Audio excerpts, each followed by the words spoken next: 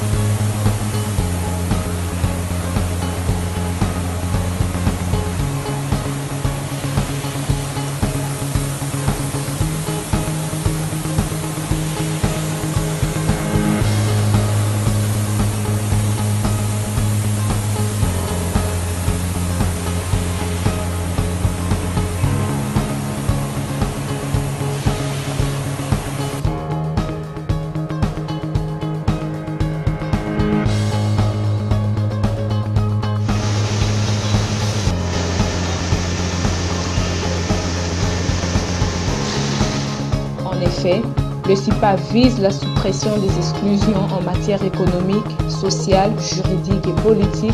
des opérateurs agricoles, notamment sur les plans de l'amélioration de la qualité de la production, la transformation, la distribution, la commercialisation et la viabilité économique des activités agricoles. Pour atteindre ces objectifs, le CIPA axe ses actions sur cinq piliers la formation pour l'amélioration de la qualité, la recherche des financements pour l'augmentation de la productivité, l'ouverture des marchés nationaux et internationaux pour l'écoulement de la production agricole, le plaidoyer aux autorités locales, provinciales et nationales pour l'amélioration du climat des affaires pour les secteurs agricoles, ainsi que la promotion de jeunes et femmes entrepreneurs pour la transformation et la commercialisation de produits agricoles.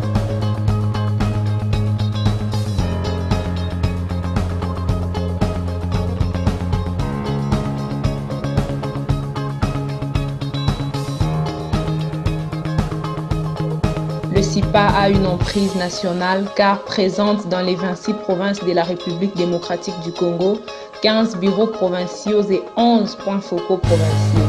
Actuellement, le CIPA compte de nombreuses coopératives agricoles et plusieurs milliers de membres répartis dans l'ensemble de la République démocratique du Congo et couvre les filières de culture pérennes, café, cacao, palmier à huile, macadamia,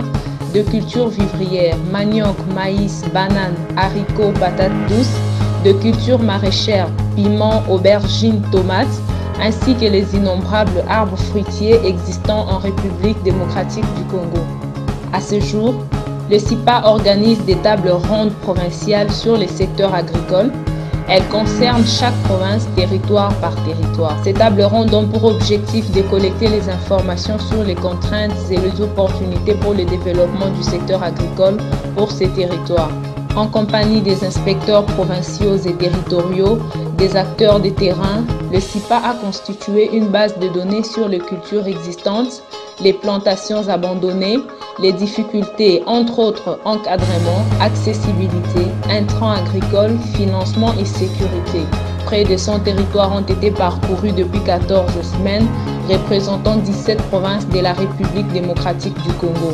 Un programme d'encadrement de femmes transformatrices des produits agricoles est planifié pour le mois de septembre 2020